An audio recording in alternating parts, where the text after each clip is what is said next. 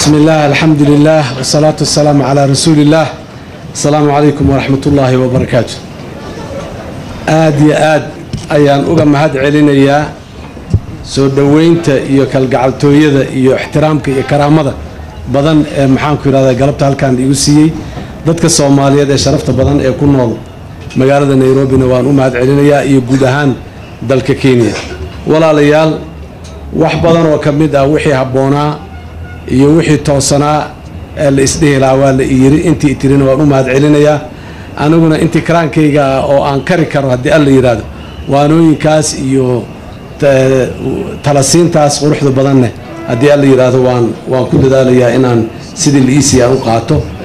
Intaa kadib taariikhdii dheereed ee soomaaliya ay soo martay ma doonayo inaan dib ugu noqdo. Waxaan rabaa muddooyinkii ugu dambeeyey un inaan ka soo bilaabo. Dalka soomaaliya waad garanaysaan laba iyo labaatan sano wakhti marka dhinac laga fiiriyana taariikhda ama nolosha ummadaha markii la fiiriyo waa wakhti aad iyo aad u gaaban oo aad u yar. Laakiin nolosha bini aadamka qofka noloshiisa markii la fiiriyo labaiyo labaatan sano waa wakhti runtii aad iyo aad u dheer. Waan soo wada joognay way qadarnayd intaan inay dhacdo. Asbaabtii ay ahaydna dadaalyari annaga xaggeenna ka timid. Unbay ahayd wax kale ma ahayn. Dalkeenna wixii ka dhacay annaga unbaa sabab u ahayn eedeedana annaga unbaa leh. Micno noo samayn mayso caliyaa ii lahaa iyo caashaa ii lahayd gurigeennuu ahaa golaheennuu ahaa annaga ayaa nalaga rabay inaan toosisanno. Welina wakhti nagama tegine. Hadday weli taagan tahay aan toosisanno haddii alla yidhaha laga soo bilaabo tobankii sebtembar laga soo bilaabo tobankii sebtembar maalintii la i doortay muddo gaaban maalmo gudahood ayaan xafiis ku soo fadhiistay. Meeshii aan imiday waad wada garanaysaa. Labaatan iyo laba sano oo dowlad la'aan ah laba iyo toban sano oo dowlado xigxiga xukuumado xigxiga oo kumeel gaar ah ay dalka ka jireen. Duruufihii la soo maray oo in badanoo ka mid ah dowladahaasi inay wax qabtaan caqabadda ku noqday ee u suurtogeli weyday waxaan u imiday meel dowladdu ay joogto laakiin xukuumadda ama dowladdii dalka aanay lahayn hal iskuul oo magaceeda ku furan oo carruurta soomaaliyeed ee aaddo. Hal m c h oo hooyada soomaaliyeed ee xaamilada ahi ay tallaal u doonato ama cunuga ay dhashay ay geyso oo lagu tallaalo. Iyo inta ka sii dambayso oo aan sii tirin karin marka iyo dowladdii oo maxaanku idhahdaay sababo la garan karo iyo kuwo aanan hadda la garan karin intaba labaiyo toban sano kumeel gaar ahayday magaalada muqdisho si uun u dhaafi weyday. Oo dalka intiisii kale inay gaarto oo ay kontaroosho geli markii dambena duruufihii waayihii dambe soo kordhood garanaysaanba muqdisho lafsideeda ay cidhidhigii aad aad iyo aad u badnaad garanayseen uu ka dhacay. Alxamdulilaah maanta duruufahaas wax badanaa iska bedelay markaan anigu imaanayey magaalada muqdisho sidii horey ahayd runtii way dhaantay. Aad bay u dhaantay.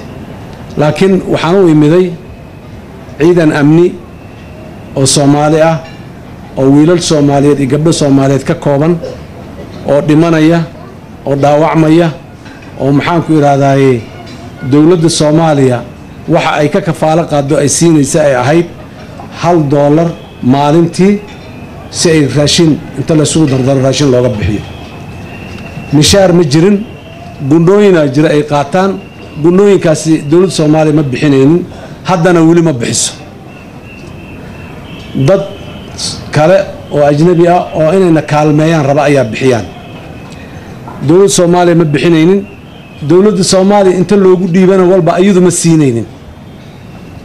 Marka waad garan kartaa ciidan amni oo adigu aadan siinaynin mushaaraadka ama gunno waxay ay leeyihiin dhaawacooda aadan u haynin muxuu isbitaal ay leeyihiin oo lagu daaweeye aan lahayn. Kii dhintaahi xuquuq mucayanahoo la garan karo meel uu ku leeyahay aanay jirin.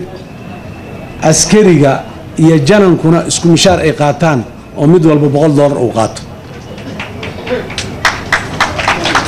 Intaas iyo boqolaalka kun oo aad garanaysaan oo soomaalida ah oo maxaanku idhahdaa barakacay oo magaalada muqdisho badankooda ku nool. Dalka waxaan ugu nimida intaasay ahayd. Intaas waxay ku noolaayeen muqdisho oo ay taallo lixdan check point ama isbaaro oo jidadka muqdisho kala duwan iyo xaafadaha dhexdooda yaal. Baabuurka dekadda muqdisho ka soo baxay suuqa bakaaraha oo laba ilaa saddex kilomitir u jira dekadda oo marmarka qaarkood maalin dhan u soo socdo anuu soo maro ilaa toban check point oo mid kastana lacag lagaga qaato. Marka lacagtaasi laga qaadanayay waad dareemi kartaa hooyada soomaalida ah ee masaakiinta ah ee soo xamaashay ama suuqa yaanyada ku gaday nolosha ilmaheeda ay siin lahayd unbay saaran tahay lacagtaasi. Kiiladii sokorta ahayday unbay saaran tahay kiiladii biriiska eeday saaran tahay kiiladii hilibka eeday saaran tahay. Lacagtaas muxuu ahay laga qaadayay ninkaa ganacsatada ama baabuurka u raran yahay duruufahaasi duruufo aad iyo aad loogu boogamayan intaas waxaa sii dheereeday markaan imiday waxaan u imiday ciidanka noocaasa oo aan shan bilood gunnadii la sii jirayna aan la siinin saddex biloodna aan garaamkii halka dollar ahaa ee dowladdu ay siin jirtay aan la siinin. Iyo shaqaale saddex kun iyo jajar gaarayo dowladdu u shaqeeyo oo mushaaraad yaryar ayagana qaadayn oo aan qaadanin muddo shan bilood. Ah sababtiina waxay ahayday dowladda soomaaliya waxay qabtay hal il oy wax ka soo galaan oo ahayd dekadda muqdisho. Bad xirankii ahayday maraakiib ma imaanayn. Marka dowladda qasnadeeda waxba ma soo gelin muddo saddex bilood. Doorashooyinkii iyo kambeynkii iyo muxuu orodkii a lagu jiray caalamka waxay yidhahan meeshan wax ka soo bixi doona lama garanaye. Waaba intaasoo lagu kala tagaaye. Bal u kaadiya. Wixii yaraayo dhibi jireenna way ceshteen. Meeshaasaan nimiday orod iyo dadaal dadka soomaaliyeed ganacsatada dadka muwaadiniinta magaalada muqdisho khaasatan degan u qaylo dhaami isugu yeer u sheeg xaaladda sida ay tahay. Maxaan ku ihahdaa bangiga amarka bixi shilin aan ahayn garaamka askariga la siinaya lagama bixin karo bangiga dhe. Yacnii dadaal un meesha ka bilowdeen bilowna aad iyo aad ayay si bositive oo wanaagsan uga jawaabeen ganacsatada lacagaa la ii keenay. Niman odayaala oo runtii aad iyo aad muxtarimiin u ahoo niyadsami soomaaliyeed qabay ee ii keeneen. Ayagoo isla odagu meel cidlaahu yimid waaba kan sheegaye bal muxuu ahaaye ha ku xil beelo. Marka waxaan weydiiyey haddii ay dhib ku qabaan lacagta inta qaadaan oy bangiga dhexe ku shubaan haddii ay dhahaan waa contribution ama tabarucaad shirkadda hebel heblaayo ay siisay ciidamada amniga soomaaliyeed inay dhib ku qabaan in kale. Dhib kuma qabno. Aad iyo aadaan muxuu ahay waxaan ugu nahay murtaax. Waxaan dhahay marka geeya. Tallaabadaas waxay ahayday tallaabo san oo ilaahayna waafajiyey waa la ysku daysaday. Ninkii boqol kun gey karay iyo kii shan kun gey karay intii ka dhexlaba bangiga dhexe dowladda waxaa lagu shubay lacag aad u badan. Muddo laba usbuuc gudahood ah lacag hal milyan oo dollar gaaraysaa lagu shubay waxay ka mid ahayd waxyaabihii sida deg dega ahay noo soo kabay. Kadibna baddina way furantay inahaas markaan isku dardarsannay mishaaraadkiina lagu lahaayo deenka ahna waa bixinay. Ganacsatadii muxuu ahay biilka askarta bixisay oo ayadana muxuu ahay lacagoodii heli weyda waa siinay. Meel waxaan soo istaagnay oo caadi ahon dowladdu. Wixii hore malaayiin dollaroo dowladdu lagu leeyahan anigu yaa xafiiska ugu tegay laakiin meeshooday weli yaallaan. Maalintii ay indhuhu horu soo maraana la dhihi doonaa maxaa ka saxa maxaa ka qalada? Kadib aa la doonaa haddii aliya. Dadka dadka deymankaas sheeganaya dulqaad badan ay muujiyeen naguma buuqin naguma qaylin runtii aad iyo aad ayay ayaguna u mahadsan yihiin. Intaas kadib dee nama noolayso inaan meeshaas isku hayno oo garaamkan askarta waa siisan karnaa. Dhowrka kunoo shaqaalaha dowladdaana mishaarka waan siin karnaa boqol boqolka dollar iyo laba labada boqoloo dollar naguma filna. Intaasi nama wado waxaan sameynay barnaamij aad laga yaaba ambitious inuu yahay. Dadka qaarkiisna aad iyo aad u yar yahay. Waa gaabis ay leeyihiin oo aan xoogga ku saarnay muhiimadaha koobaad ee dowladdu ay leedahay. Dowladdu muhiimaday leedahay muhiimadahaasna muhiimado koobaad ayay ka sii dhex leedahay. Muhiimadaha lixda ay leedahay waa lixda tiir oo mar walba la soo sheego pillars new the, foundations of new beginning loo bixiyey oo six pillar policy framework waxa la yidhaha oo aan dowladdu ay dejisay. Laakiin intaasaan waxaan ka sii dhex xulannay haddana saddex ka mida saddex qayboodoo ka mida inay noo sii noqdaan. Muhiimadaha muhiimadaha muhiimadaha ay ugu sarreyn midda koowaad waa amniga. Dalku inuu helo amni qofka soomaaliga wixii ilaahay ku irsaquu cunayaa caawa laakiin sariirtiisa inuu nabad ku seexan karo. Inaan muxuu ahay bal xoog iyo caqli iyo xoolo waxaan leenahay aan isugu geyno amniga keligiis ma jiri karee inay sistamkii cadaaladda iyo maxaanku idhahdaye garsoorku ay la socdaan. Oo maxaanku idhahdaye dadkii loo loo loo cadil faro haddii alla yidhaah midda saddexaadna waxay ahayday annagu dal burburayaan nahay caalamka ma dhicin dal burburo oo asiga keligiis isu soo kaba. Dal kastoo burburaay kaalmo caalami oo helo ayuu ku soo baxaa. Kaalmadaas caalamiga dalal saaxiiba ah u hiiliya ha noqdaano ama hay'ada caalami oo isku tega ha noqdaano soomaaliyana kama duwana waxaan u baahannahay kaalmada caalamkaan u baahannahay. Si aan kaalmadii caalamka u helno waad ogtihiin waxaa leeyahy transparency international waxay tiri soomaaliya waa waddanka adduunka ugu musuq badan. Sax miyaa khalad miyaa waa meel kale. Musuq ama corruptionku wuxuu leeyahay waxyaaba lagu cabiro u leeyahay. Waxyaaba lagu xadgudbay oo la yidhaahdo waa musuq maasuq markii kow iyo laba iyo saddex la samayn waaye laakiin markii waxaas aynaan lahayn sidee inaan inaan xadgudubnay oon musuq maasuq in kale? Sideena lagu gartaa. Systems markaanan lahayn nidaam iyo xeerar maxaanku idhahdaa financiga aanan lahayn institutions muxuu ahay qaabaysan oo waxaa ka turjumaya aynaan lahayn. Si kastaba ahaatee way dhacday waxaana la yidhaha marka lacagna lidima dhiibi karo lidimana aamini karo institutionskiinuna muxuu ahay ma jiraan transparent ma ihidiin accountable ma ihidiin maxaanku idhahdaa wa and so on long list of adjectives yaa naloo tiriyaa. Midda saddexaad marka waxaan ka dhignay public finance management maareynta hantida dowladda ama dhaqaala beesada dowladda. Beesada dowladda institutionskii lagu maamulayey iyo xeerarkii way jireen in dib loo soo habeeyo dib loo soo saaro la waxeeyo si aan u abuurno maamul corruption free ah zero tolerance corruption. Inaan ka noqonno target ah ayaan samaysanay saddexdaas meelood ayaan waxaan dhahnay waa muhiimadaha jira kuwa ugu sii muhiimsan waayaan dhahnay security-ga oo ah meesha ay wax walba ay ka hagaagaan ayaan marka gooni u qaadnay lixdankaas checkpoint oo magaalada muqdisho. Dabcan waxaa ilaahay mahaddiis ah dadka soomaaliyeed maanta in ay joogaan meel runtii aad iyo aad u sarrayso oo bisayl ah oo waayo aragnimo ah oo rabitaan dowladnimo ah inay joogaan waa ilaahay mahaddiis. Dadkana waa waan ku bogaadinaynaa dadka soomaaliyeed meel kastoo ay joogaan waana ugaga mahad celinaynaa. Annagoo amaraan bixinay waxaan dhahnay checkpoints magaalada dhex yaalla ee lixdanka ah waa in la qaadaa taliyaasha ciidamada iyo guddoomiyaasha degmooyinka gobolka banaadir aan u yeernay waxaan dhahnay waa in la qaadaa checkpointska magaalada yaalla laguma diririn dagaal laguma qaadin dad kuma dhimanin haddana waa la qaaday. Lixdankoodiiba sidee xaaladaas loo ilaaliyaa oo aanay jidka wiilashii ugu soo noqonin?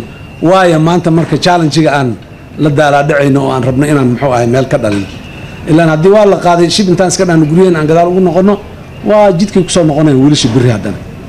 Si aan marka taas u samayno markii ugu horreysay taariikhda labaatan iyo labaatan sano waxaan abaabulnay saddex xero oo ciidamadu ay leeyihiin magaalada muqdisho in laga dhiso laga dayactiro. Way jiraan xerihii dib in loo abaabulo oo dadka ku jirana laga waxeeyo lana dayactiro xeryo ciidan ku noolaan karaan laga dhigo ku noolaan karaan markaan leenahay daaradhaa dheer inaan ka dhisno iyo maxaanku idhahdaa sariira u dhigno. Kumaynaan fikirayn waxaan ku fikiraya derbi wareegsan oo dheeroo ilaa xaddi macquula ganjeello weyn oo saaran ceel biyo in laga qodo meel weyn oo howl oo sidaanoo kale dhowr boqol ay ama ku qadayn karto ama ku shiri karto in laga sameeyo teendhooyinna loogu dhex dhiso ciidamadu ay galaan oo ay ku hoydaan. Iyo dhowr konteynar oo maqaasiino ah oo hubka lagu kaydsado waxaa la kala garan waaya magaalada muqdisho qofka ciidan dowlo ah iyo qofkaan ahayn. Askarigu gurigiisu habeenkii u hoydaa qorigiisu waa barkadaa subxiina waa la soo kacaa waddadu jidkuu la soo maraa halkaa markuu mara uniformkiina waa wataa qorigiina garabku ugu jiraa inuu markaa askari dowlo yahay mid uniformki inta soo gashtay wax inuu ku dhaca raba yahay ma kala garan kartid. Taas haddii aan ku guulaysano ilaahay idankiis waanan ku guulaysan doonnaaye waxaa dhammaanayo qoray jidka lala taagan yahay oo lala socdo oo aan ahayn qoray shaqo lagu og yahay haye aan ahayn. Dadka muqdisho waxaan ugu baaqnay qoryaha guryihiinna ku haysta oo goobihiina ganacsiga ku haysta. Jidka hala soo imaanina hadda. Berri haddana muxuu ahay guryaha iyo goobaha ganacsigaa sidii qoryaha ay uga bixi lahaayeen oo guryo qorarka madax bannaan iyo goob ganacsiyo qorarka madax bannaan loo heli lahaa waa meesheeda. Askarta dowladduna inay xariir ku jirto haddii uu ka soo baxayana iyadoo la ogya uu shaqo u socdo asagoo qalabkiisa sita uu ka soo baxo haddii aanu shaqo u soconin qorigiisa intoo meesha soo dhigto asagoo muwaadin caadi ah inuu jidka ku soo baxo.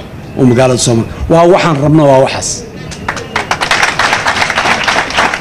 mashruucaas iyo mashruuc kale oo la socda oo ballaaran oo amniga asna la xidhiidha oo ah wacyigelinta dadka ee laga wacyigelinaya amuuraha amniga taxadiga ku ah iyo abaabulka degmooyinka iyo xaafadaha oo lagu xaqiijinaya waxaas aan rabno inay socdaan asagna wuu barbar socdaa bartilmaameedka aan qabsanayna oo aan rabno muqdisho ammaana in lagu helana waa bisha maarj kow iyo soddonkeeda haddii alla yidhaahdo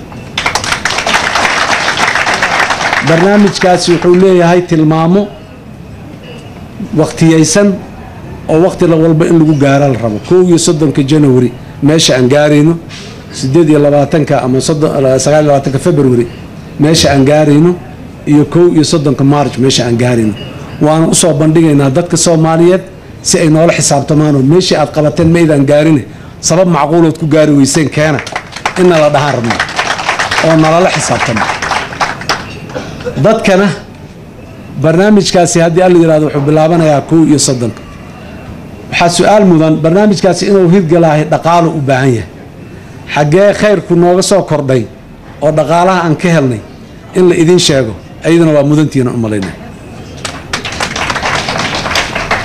Lacag dhowr milyan oo doolar ah ilaa lix milyan oo doolar gaaraysa ayaa mashruucaasi yaa loo bajadgareeyay lacagtaasi waa midda jaabadihiina ku jirta dowladda soomaaliyeed khasnad uguma jirta lacagtaas. Waa lacagta adinka jaabadihiina ku jirta. Walaalaha kale soomaaliyeed ee yurub iyo america ku nool ku jirta. Kuwa xamar joogay suuqyada jooga jeebadooda ku jirta. Waa soo wadnaa maalin dhow waad maqli doontaan qayladhaanteenna kalsooni badanna waa qabnaa inaan helino. Marka marka aan helnana haddii alla yidhaahdo lacagtaas guddi maxaanku idhahdaa ka tirsan kabinetka oo wasiiro ah ayaa u xil saaran barnaamijkaasi inay ilaaliyaan oy dhaqangeliyaan oy hubiyaan. Heshiis waxay ku qaadeen ku galeen wasiiradaasi. Madaxweyne haddii lacagtaasna la keeno muxuu ahay ciidankana muxuu ahay nalakala shaqeeyo saraakiishii wixii kale unbaana laysku dubarido. Oon bartilmaameedyadaas aan qabsannay bartilmaameedyada anigu uma qaban ayagaa soo shireen ayagaa soo gaareen. Bartilmaameedyadaas aan qabsannay la gaari waayo xilka inaan iska tirinaa diyaar u nahay. Qof kale qof kaloo qaban karta oo gaari karta bartilmaameedkii in loo dhiibaan diyaar u nahay. Yacni ballanqaadkay ayaguna ballan qaadeen waa intaas. Aniguna inaan intaas ku shaqeeyo on ku ilaaliyo oon ku ku waxeeyo ayaan muxuu ahay ballan qaadaya haddii alla yidhahdo taas markaan haddii alla yidhahdo intaasaan uga gudbo warbixintii si kooban magaalada muqdisho iyo dalkii. Dowladdii soomaaliya cudurkii maxaanku yidhaha ahaay muqdisho ma dhaafto dowladdu. In laga gudbisiiyaan rabnaa oo ay muqdisho dhaafto haddii alla yidhaah oo dowladda. Oo ay muqdisho dhaaftaan rabnaa dowladdu. Dowladda barnaamijay samaysay la yidhaahdo baahinta ama fidinta maamulka dowladnimada iyo isxukunka ee gobollada dalka oo dhan dabcan hal maalin istaaga inta la yidhaahdo gobolladu ma wada istaagayaan laakiin inaan intaan bilowno aan wadno haddii alla yidhaahdo ilaa aan ka gaarno meel kasta oo dowladdii inay dadkii u tagto oo ay la joogto meel walba ay dadku degan yihiin ay ku nool yihiin inay kula nooshahay maamul in loo sameeyo gobollada iyo degmooyinka ku meel gaar ah oo u diyaariyo dadku maamul ay soo samaysteen iyagu.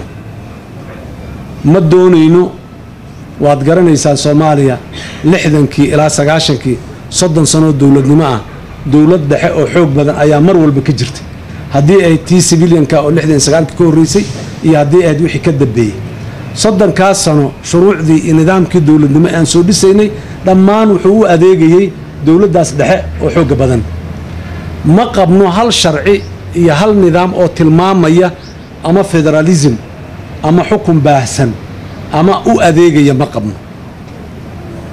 Haddee haddii aan maamuladii iyo wixii aan dhisno sharciyad ay ku dhisan yihiinna aanay jirinna ma ka duwanaanayso dee dhaqankii maxaanku rahday wolodismka iyo wixii la mid ahayo nin uun ciidama haysto oo dadka muxuu ahay u taliyo karbaashiyo inay ahaadaan.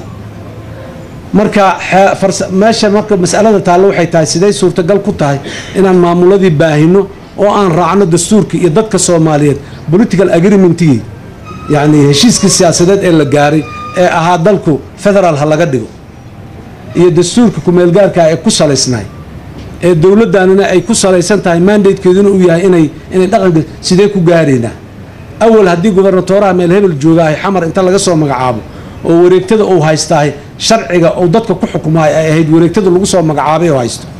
Maantana aanay suurtagal ahayn sidaas xaggee sharciyaddii ka keenayaa marka qofka aan doonayno gobol hebel iyo degaan hebel iyo dowlad goboleed hebel inuu xukumo sharciyaddii xaggee ka keenaya waxay u baahan tahay in la sameeyo. Markaan leenaha marka maamullo kumeel gaar ah oo cimrigooda uu xadidan yahay oo ama sagaashan maalmood ama boqol iyo labaatan maalmood ama boqol iyo maxaan ku rahay siddeetan maalmood noqonayo ayaan dhisayna magacaabayna oy muhiimaddeedu tahay dadka inay abaabulaan degmooyinka iyo gobollada joogo si dhulka inta dhiman loo xoreeyo oo looga saaro shabaab. Kow dadka deegaanada degan inay abaabulaan wacyigeliyaan si dhulka inta dhiman uu shabaab ku dambeeyo looga saaro. Kow dadka deegaanka inay u diyaariyaan in ay tala yeeshaan ay isku xukumaan oo ay la soo baxaan hogaamiyaashii xukumi lahaa oo ayaga ka tirsan. Iyo midda saddexaad oo ah ciidamada ajnabiga ee dhulkeenna meelo badan oo ka mida jooga iyo dadka inay u dhaxeeyaan oo aanu isku dhac iyo isku dhibaatooyin iyo aanay ka imaan. Iyo in kaloo la mid ah annagu muhiimadda aan hadda wadnahay waa middaas saddex muhiimadood saddex mabda oo mabda ah ayaa jirto oon doonayna inaan la jubin. Waxa ka soo haray waa farsamo. Waxaa laga yaabaa meeshaan farsamadii suurtagal ka ah xaggaas kale inay farsamadaasi la bedelo inay u baahato si kale ay ku noqoto? Kow waxaan doonaynaa dadka degaanada degan in la empower gareeyo oo ay gaaraan awooddooda inay dhihi karaan caliyaanna xukumayo? Muxuu ahay maxamedna ma xukumayo inay dhihi karaan. Kow colaadda iyo maxaanku raha khilaafka iyo isdilku inaanay dib ugu noqonin degmooyinka iyo degaanada oo aan mar kale hubka inta la qaato aan la isdilin ama reer hebel la isu dilo ama kooxhebel iyo kooxhebel ha la isku dilay iyo midda saddexaad oo ah maamul samayntu dowladda soomaaliya inay ka noqoto liid leanna mandateka dowladnimada aan haysano ayaa sidaas ah. Muddadaas marka aan sheegnay ee aan dhahnay waa waa ugu yaraan waa waa sagaashan cisho ama boqol iyo labaatan ama ugu badnaan boqol iyo iyo iyo siddeetan cisho. Maxaan samaynaynaa waxaan samaynaynaa waxa hadda waxaan haysanaa dastuur kumeel gaara oon dhammaystirnayn waxa dastuurkaasi na farayo dastuurka wuxuu na faraya maxaa ka mid ah? Inta maam inta dowlad goboleed ee dalku uu yeelanayo waxaa go'aan ka gaarayo baarlamaanka federaalka ee soomaaliya. Dastuurkay ku caddahay welina go'aan lagama gaarin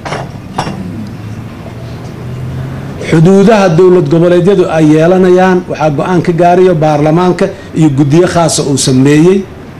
Weli guddiyadiina lama samaynin lagamana gaarin. Intaas waxaa dheer shuruucdii caadiga ahayd.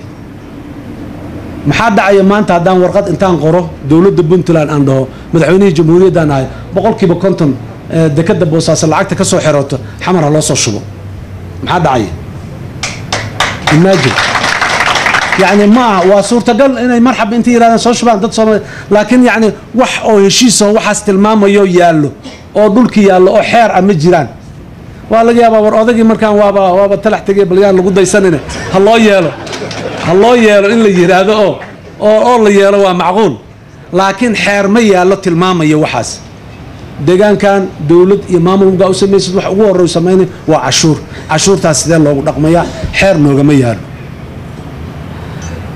ilaahay inta qadaro degmo hebel oo meel hebel ku taallahay haddii beri oo ceel shidaala ka baqa ceelkaas shidaalka ah sideen bee sidiiseen yeelaynaa khayrka nooga imaanayo.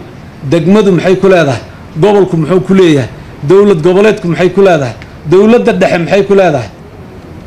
Xeer meel noogama yaalo haddii waxaasi aanay xeerar meel nooga oolinna waa waxa ugu horeeyo keenayo inaan isdilno oon isku dirirno oon ku sii kala irdhowno. Waxa ugu horeeyo keenaya waxaan doonaynaa marka maamul ha la sameeyo maamulku meel gaara oo muddo kooban ah ha la sameeyo markaan leenahay waktina waan iibsanaynaa aan xeerarkaas iyo sharciyadii ku samayno. Dhulkana waan diyaarinaynaa geedkii rooroor lagu koro roorooraa looga soo degaa. Ma doonayna inaan maxaanku idhahday wixii nala fiican intaan isaga dhawaaqno ay biri waxaysmaan. Intaas ka sokow kutubka qur'aanka kariimka aan gacanta saaray aniga. Oo waxaan ugu dhaartay waxa waajibaadka ee layga rabo inaan fulinayo. Oo ay ugu horeyso saddex waxyaabood aada u waaweyn. Danta dalka dadka iyo diinta. Inaan ilaalinayo ayaan gacanta u saaray. Ilaahay committedan ku ahay inaan ilaaliyo saddexdaas. Wax ka sokeeya wax ka sokeeya soomaaliya oo nabad ah oo deggan oo dadkeedu ciziga iyo karaamiya ay lahaayeen oo u soo noqdo oo adduunyada laga ixtiraamo oo ayada dhexdeeda ixtiraamto wax ka sokeeyo oo aan haminayo oo aan jecelhayna ma jiraan. Laba iyo labaatan sano colaaddii iyo waxyaabihii aan quruxda badnayna soomaaliya ka soo dhacay waan dhex taagnaa weliba si khaasa ayaan dalka soomaaliya geeska gees weliba aan u soo maray.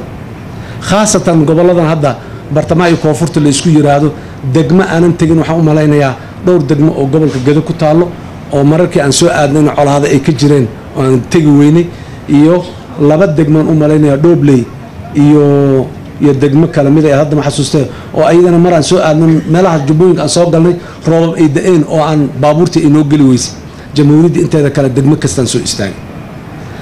Waxaan waday mashruuc la yidhaahdo dibudhiska siyaasadda dibudhiska dhaqaalaha iyo dibudhiska bulshada.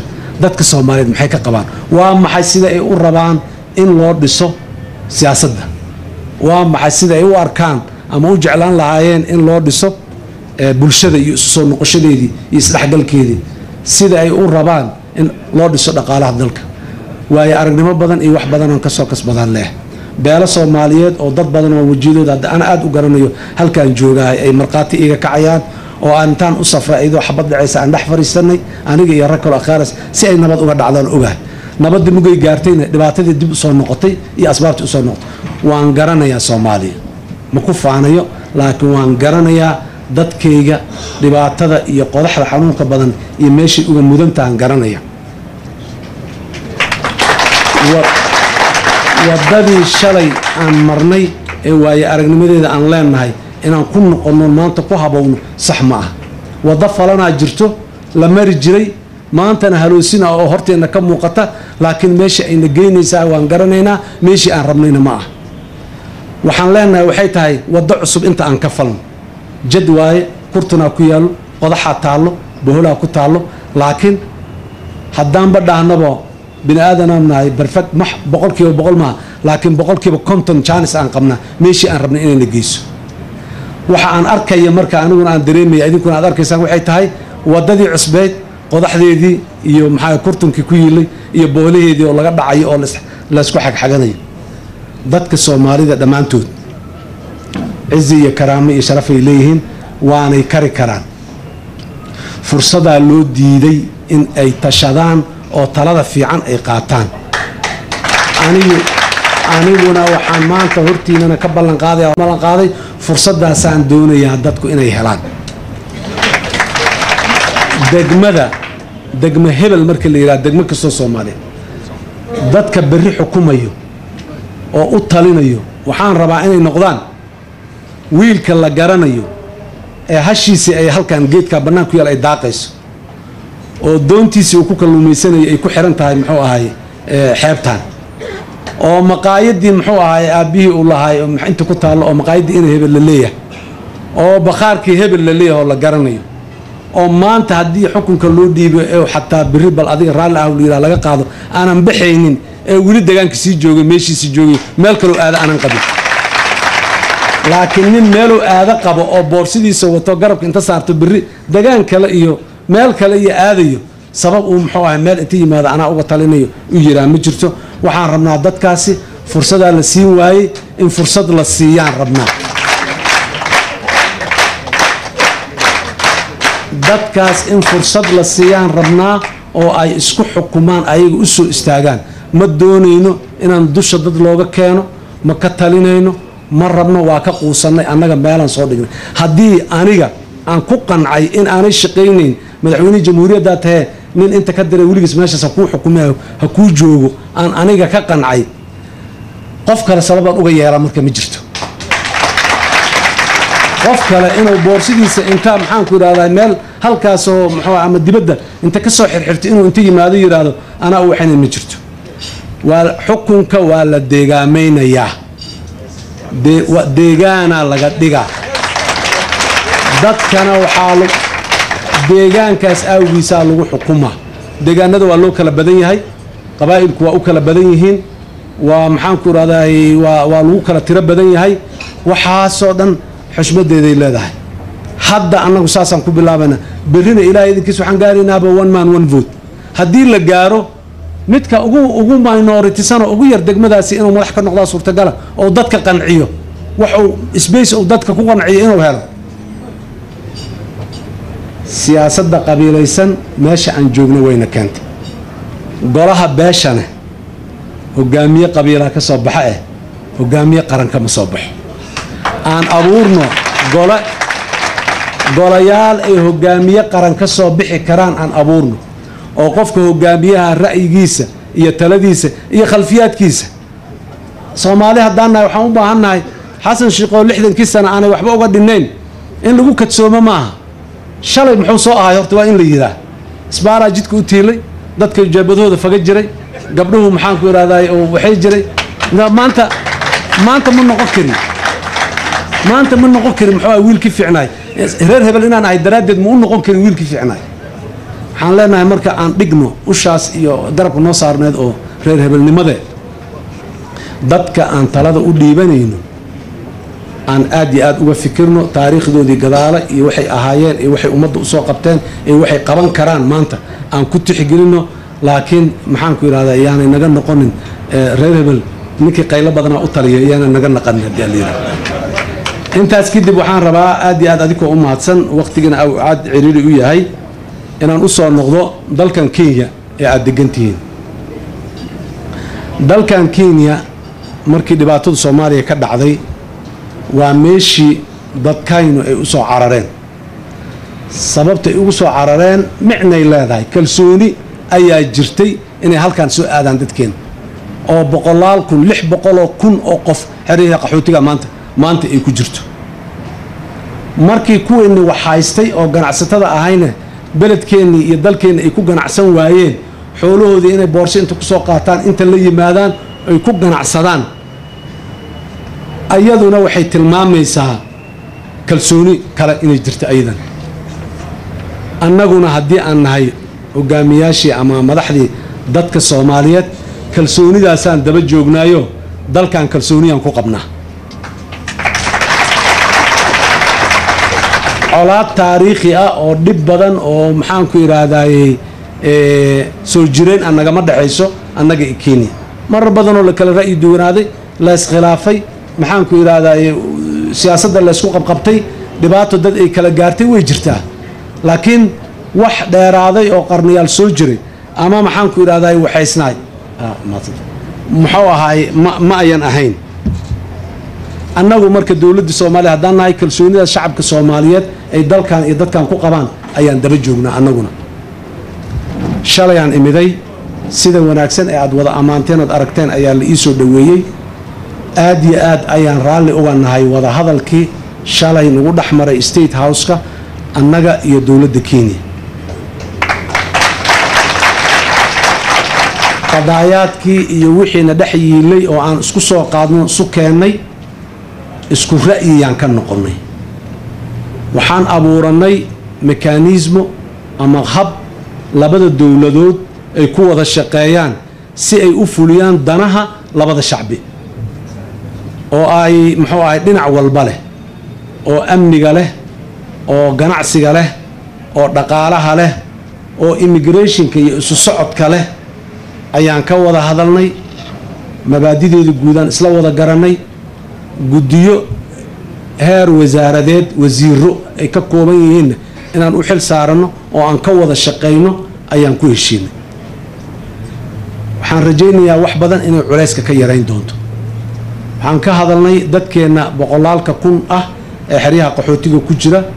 Waxaan dowladda kenya u sheegnay waxa aan ugu jecelnahay waxay tahay inaan aragno dadkaasoo soo noqday oo dalkoodii ku soo noqday. Oo si nabad ah ku soo noqday. Annaga waxay nagu tahay challenge ama taxadi ay nagu tahay dadkaas inay soo noqdaan. Lianna xerada qaxootiga ee maanta uu ku jiraay khadamaad mucayanoo ku haystaa qofka joogaay hadduu soomaaliya ku soo noqdo waa inuu adeegaas ama mid ka fiican waa inuu ku helaa soomaaliya gudaheeda. Laakiin xeradii qaxootigaa ii rooneed hadday noqoto wuu soo noqonayaa biri haddana qofkii. Ma doonayna dalkeena dadkii dadkeena inay dalkii inta ku noqdaan ay dib u soo noqdaan. Dowladda soomaaliyeed marka assignmentiga gaarka u yaal waxay tahay dhulkii inay u diyaariso dadkii inay inta soo noqdaan ay deganaan karaan. Oo amni ay ku heli karaan. Oo iskuul yaroo ilmaha loo diro ay ku heli karaan oo ay shaqo yaroo muxuu ahay subaxdii loo kallaho oo caawa muxuu ahay saxanka cambuuladaa laga heli ay ku heli karaan. Mas'alada dowladda soomaaliya haysatahay waa middaas.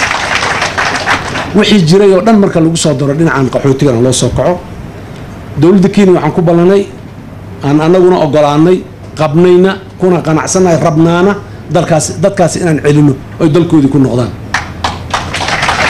Qaabkii iyo sidii si nidaamsan oo aan fawdo iyo buuq aan ahayn oo sidii shalay lagu yimid oo kale aan ahayn laakiin si nidaamsan ah inay dalkoodii ay dadka ugu soo noqdaan iyo sida ay qabaan xeerarka caalamiga ah. Ee qaxootiga amuurihiisa maamulo ayaan ku ballannay waanan ka wada shaqayn doonnaa waanan arkaynaa haddii alla yidhaah inaan ku guulaysan.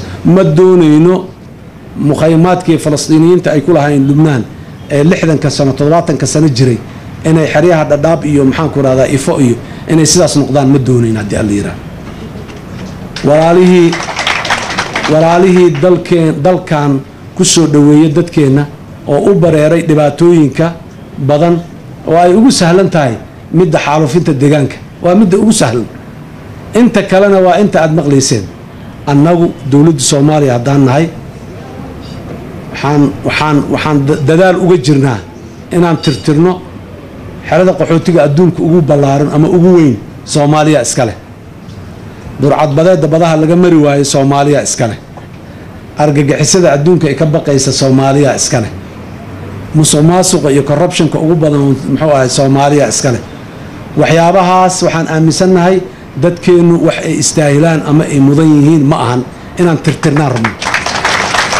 Laakiin goormaan tirtiri karnaa waa markaa adika nagu garab siisaan nagu garab istaagtaan noogu hiilisaan. Markaasaan tirtiri karnaa waanan rajaynayaa inaan tirtirno intaas kadib dowladda kenya waan u sheegnay waanan kala hadalnay dadka soomaaliyeed kalsoonidaas ay ku yimideen inay meesha ku joogaan. Dadka soomaaliyeed mujtamaca kenya value added inay ku ahaayeene aanay ku ahayn keliya. Baardan muxuu ahaay mushkilad inaanay ku ahayn ay la yimaadeen muxuu ahaay contributionkooda iyo maxaanku rahay tabarucooda dalkaana ay muxuu ahay wax badan ku soo kordhiyeen. Waanay qirtay dowladda kenya runtii aada iyo aad. Shalay madaxdii way sheegeen dadka soomaaliyeed dad fiican shaqaysanayo noolaanayo mujtamaca kenya u horseeday wax ay ku daysan karaan ay arki karaan isku kalsoon inay noloshooda soo saari karaan. Ay role model u noqdeen mujtamaca madaxda kenya shalay kelmadahoodii ayay ka mid ahayd runtii. Marka dalkan waa laydinka jecel yahay shalayna waa laydinka jeclaa maantana waa laydinka jecel yahay laakiin dhibaataa timid. Runtii markaa aan maqlo isliya qarax ka dhacay waxaan uga xanuunsadaa si aanan uga xanuunsan muqdisho ka dhacay marka la leanna muqdisho waa baranay qaraxu inuu dhaco. Qariib ma aha. Maalintii muxuu ahay aniga lai doortay maalintii ka laba ahayday wasiirka arrimaha dibadda ee kenya yimide dalka iyo wafdi ballaaran uu hogaaminayo oo warqad congratulations oo madaxweynuhu uu u soo dhiibo wado saas annagoo isula taagan oo hadalkii soo dhoweynta ay wixii isu jeedinaynaa bug haddana bug haddana bug. Saddex yacni qarax oo waaweyn oo midba midka kale ka daran yahay. Journalistayaashii wixii meesha joogay miisaska hoostoodaa la wada galay. Aniga wasiirku wuxuu yidhi mar dambe aan soo baxna qofkiis waa yaabuu dhahay adiga ma nibarsan xataa maxaa kugu dhacay? Yani inaanan dareen lahayn oo naxaynin ama cabsanaynin maahane laakiin de waa nugu bateen noloshayna ka mid noqotay. Laakiin de dalkan hariibay ka tahay dalkan dal degan nabad ah muxuu ahay qaanuunka uu ka taliyo walaxaa qarxay iyo walaxaa muxuu ahay ismiidaami iyo walaxaa ka dhacay xaaja qariibay ka tahay reactionka marka ay keeni karto iyo dadka sida xataa annaga intiinan soomaalida ah ku nool muxuu ahay dalkaani la mid ma hidiin kuwa muxuu ahay ku nool? Muqdisho ku nool kuwa la mid ma hidiin oo noloshaas stableka adliist ama qaarna waa ilowdeen kuwii xagga qaarna waxba la yaabaa inaanba aragba oo muddo dheer igudeen marka aad iyo aad ayaan uga xanuunsanaa uga waxaysanaa. Laakiin waxaan rabaa inaan idiin sheego dowladda kenya dadka soomaalida inay argagixisan yihiin uma arkaan. Shabaabna waxay ogyihiin soomaali keliya inaanu ahayn waanay sheegeen waanay caddeeyeen shabaab inay cid walba yihiin. Inta yacni suicide bombers dadka isqarxiyey taariikhda inta hadda u jirta marka dib loogu noqdo tirada soomaalida ahayd waxaa ka badan kuwa aan soomaalida ahayn ka badan. Tajrubooyin intaasoo badan ana waa la hayaa.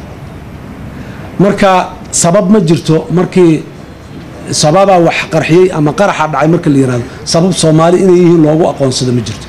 Laakiin deegaankii uu qaraxa ka dhacay mar walba la mid ma noqonayo. Deegaankaas xaggaa kale ku yaallay aanay waxba ka dhicin. La mid ma noqonayo. Amniga procedures nidaamuu le waxbaa un la dhaqaajiyaa laakiin haddana maca daalika dowladda guud ahaanne amuurahaas waa kala hadalnay. Dadka amniga kenya qaabilsanna si gaar ah ayaan weliba ayagana aan ugala hadalnay amuuraha ku saabsan in lala tacaalo oo lala diriro kuwa qaraxa iyo balaayada wado iyo in la ilaaliyo dadka soomaalida intaba. Waan saakadaana ugu dambeysay hoteelkaanaan shir ku wada galnay hay'adaha amniga dalkan waan kala hadalnay. Waxaan kalaaan kala hadalnay waan kala shaqaynay annaga dhinacayna inaan contributionkeena la imaanayno waxaas dhacaya wixii aan ka geysan karno macluumaad ah information aan hayno ah dad aan garanayno ah. Waxaanan dadkaas ka soo ballan qaaday idinkana maanta inaan qadaleen aan u sheegay inaan idinka codsado idinkuna inaad la shaqaysaan hay'adaha amniga. Fadlan ha qarinin naxariis ha u haynin. Ninka doonaya kumanaankaas soomaalida ah boqolaalkaas kun ee soomaalida iyo boqolaalkaas kun ee kenyaatiga ah nolosha meesha ay ku haystaan hantida meesha ku jirto oo yacni inta ay la eg tahay aada garanaysaan ninka aanay macno u samaynaynin. Ee hal subax inay waxaasoo dhan dhulku ku darsoomaan iyo in kale aanay farqi u lahayn ha dhowrin sheeg.